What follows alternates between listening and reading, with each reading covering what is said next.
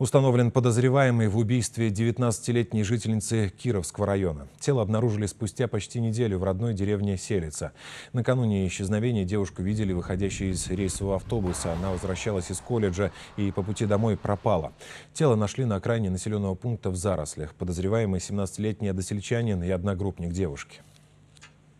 Выйдя на остановке общественного транспорта и следуя по пути к дому, девушка встретила своего одногруппника. В ходе разговора между ними произошла ссора, в результате которой парень нанес потерпевшей телесные повреждения, несовместимые с жизнью.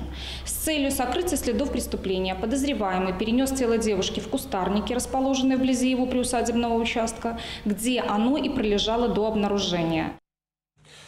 По материалам дела сумочку и телефон убитой молодой человек выбросил, скрывая следы преступления. Но именно по отпечаткам подошв обуви возле одной из личных вещей и удалось установить личность. Подозреваемый задержанный уже дает признательные показания.